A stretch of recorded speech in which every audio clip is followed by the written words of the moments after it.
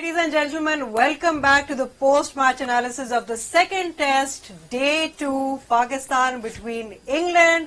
Break से break में जाने से पहले हम बात कर रहे थे मैच पे इन डिटेल अब हम बात करते हैं थोड़ी सी आमिर जमाल की हमारे टेल एंडर्स की। अगर आज हमारे टेल एंडर्स ने वो क्रूशल रन्स बोर्ड पे ना लगाए होते तो थोड़ी सिचुएशन डिफरेंट हो सकती थी।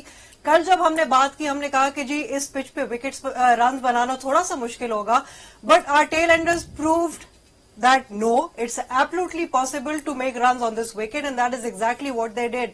So let's have a look at Amir Jamal's innings today and his crucial runs that he contributed to our scoreboard.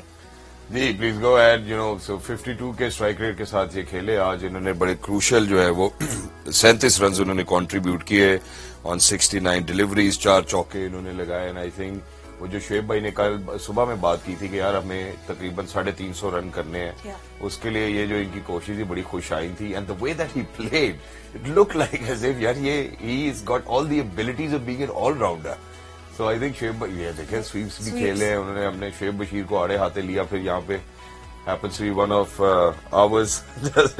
Bhai would love to put it.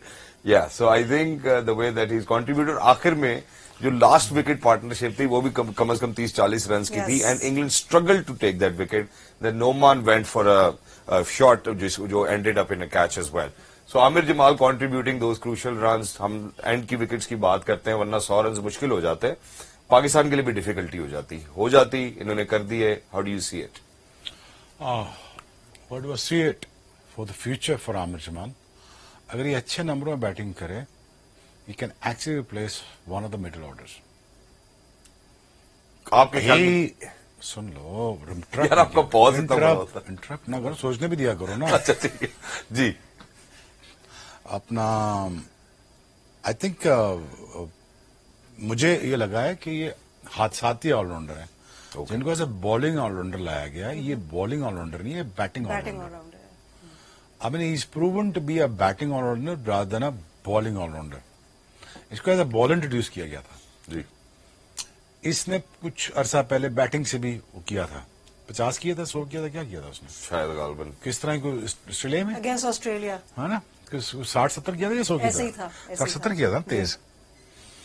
तो एक्चुअली टेक्निकली देखा जाए तो I think is a very very good batsman and I really think that you know अगर इसको time दिया जाए crease के ऊपर you can be a very useful creature in comes to a batting exactly exactly. And अगर इसको अच्छे नंबरों पर टाइम दे दिया जाए तो मेरा ये ख्याल है कि अगर जहाँ भी ये पचास साठ कर रहा है इतने मुश्किल विकेट पे जिसका जो जिसका जितना इसको शौक है ना बैटिंग का मुझे लगता है इसके लिए सो बनाना भी मुश्किल काम नहीं है। ए that he know is sensible secondly has shots around everywhere pull and hook कर लेता है कट मार लेता है उल्टी स्वीप भी मारता है which is I don't count as a batting but you know at times you necessary होता है जब फ़ील्ड प्लेसिंग और पिसा लेते हो। Would would he be like a very good commodity for T20 cricket? No, he shouldn't be. He should be thinking about all formats. Exactly.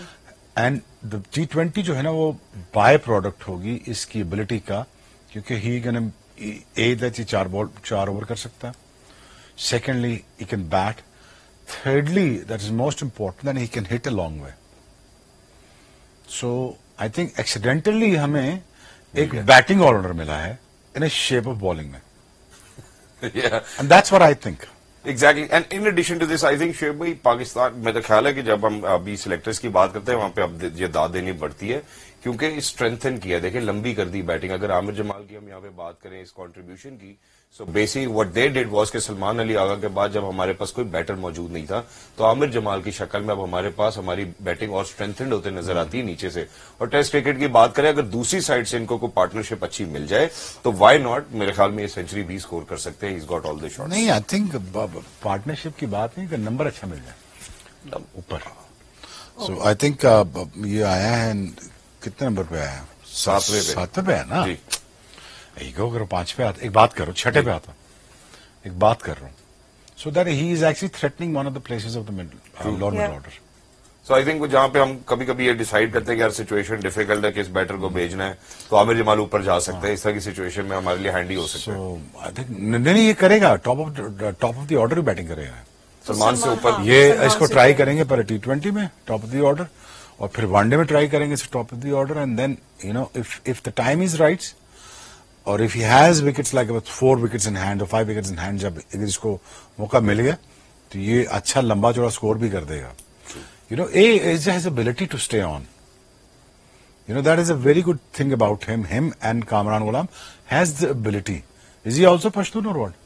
He is Aamir Jamal ये भी है? जवाली पश्तून है? हाँ। बस बस ठीक है।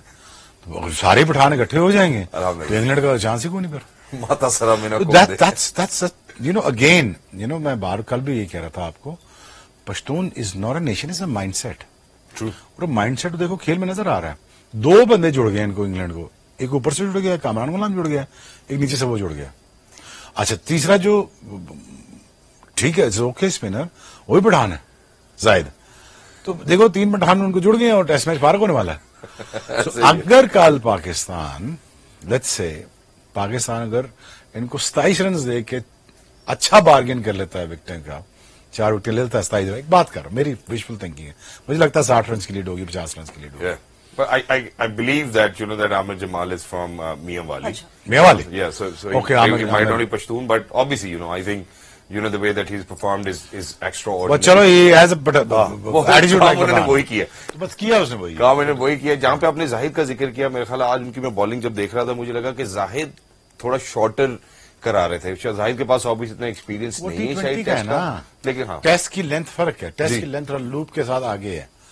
इनविटेशन है। इनवाइटिंग होता है। इनविटेशन ऑफ़ द जो जो लूप ऑफ़ जो लूप की जाती है ना जैसे मैं मैंने देखा है। एक तो ये वाला एक ये वाला है एक स्लाइडर वाला है। तो एक्चुअली इसके लिए थोड़ा सा करने पड़ते हैं तीस चालीस ओवर करना पड़ता है एक टेस्ट मैच में।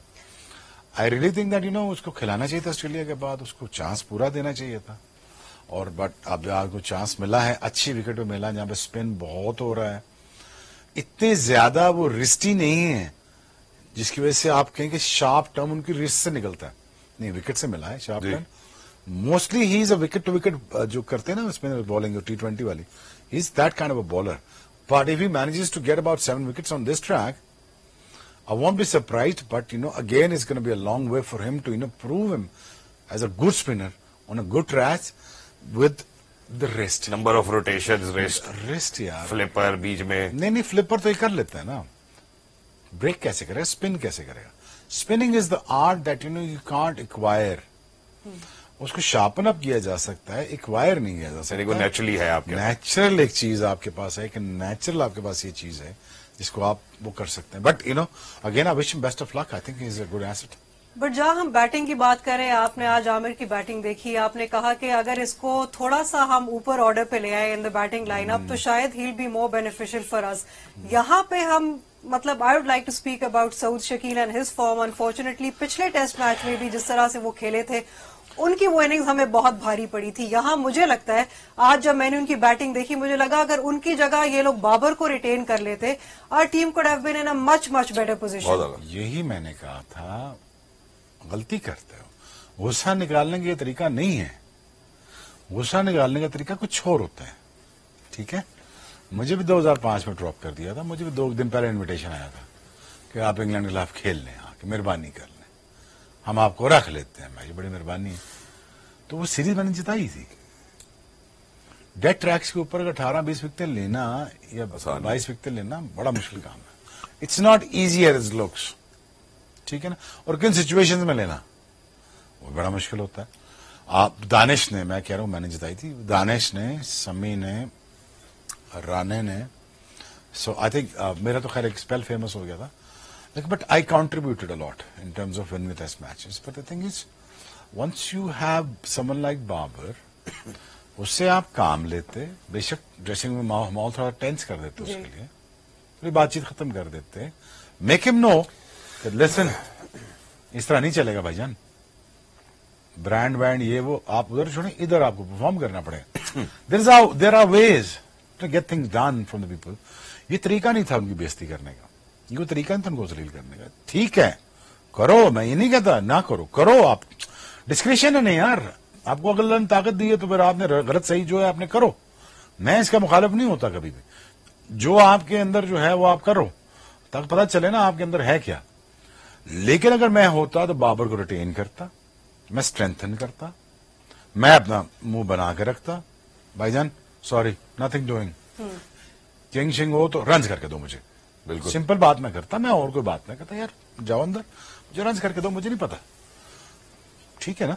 तो और इस सिचुएशन में मुझे तुम ये बता के दो कि यार हाँ तो you are best player in the Pakistan prove it on the worst track that's true it's very simple as answer with your bat जी। और नहीं कर सकते। ठीक है तीसरे टेस्ट मैच में भी ठीक है। आप मैंने मैं आपको माहिन बता रहा हूँ। ड्रेसिंग रूम में जब मुझसे या किसी से या क्लाइंट से किसी से आउट नहीं होता था। उससे एक हफ़्ता बात नहीं होती थी उससे। उसके लिए टूर मुश्किल कर देते थे। उसके साथ लड़के भी हैंग अराउंड नहीं करते थे। मुझे लगता है आप वैसे ही नहीं किसी से बात करते होंगे ड्रेसिंग रूम में। नहीं वो छह बजे के बाद वैसे नहीं मिलता नहीं नहीं मैं I am the most easy going I was the most misunderstood guy मेरी पूरे करियर में एक लड़ाई है। लेकिन आपकी सारी टीम कहती थी कि शुएब हमारे साथ नहीं घूमता फिरता। आपकी जितने आपके साथ के खिलाड़ी हमारे साथ हेलो। वो घूमना फिरना मेरी अपनी फ्री विल है ना? जी।